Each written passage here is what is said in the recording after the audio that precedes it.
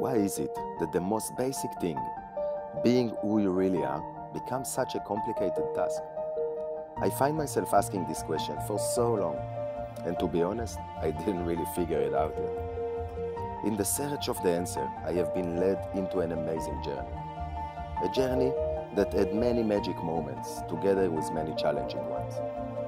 A journey that includes laughing, crying, highs and lows. A journey I call being human. I still don't have the answer, but now I got a huge clue. In order to be me, I need to really get to know all of me. Both parts, my yin and yang, the brightness and the shadow. You see, I have been Superman most of my life, but I never really got to know Clark Kent.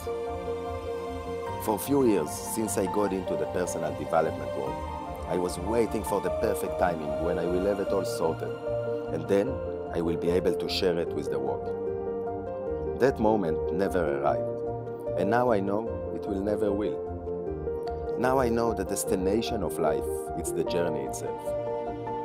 I want to invite you into this journey, mainly because I just want to get it out of my system. But who knows, maybe parts of it will help you on yours. I don't really know where this journey will lead us, but one thing I know for sure you will get the all of me.